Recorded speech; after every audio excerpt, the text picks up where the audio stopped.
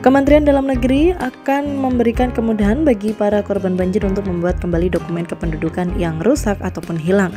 Kebijakan ini disampaikan Mendagri Tito Karnavian saat ditemui di kantor Presiden Jakarta Jumat sore. Saat ini Dirjen Kependudukan dan Catatan Sipil sudah diinstruksikan untuk mempermudah masyarakat mengurus kembali dokumen penting mulai dari KTP, akta kelahiran hingga kartu keluarga yang rusak. Capil yang bersifat vertikal karena ada jaringan dukcapil dari Dirjen Dukcapil Kemendagri di provinsi, kabupaten, dan kota.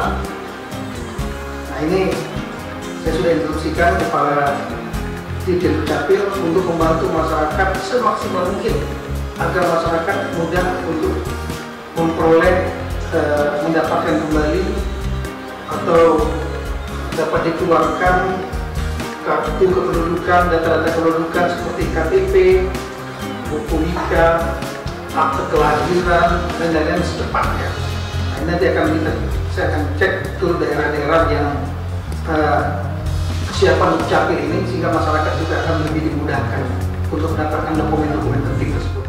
Azizul Hakim, CPNN.com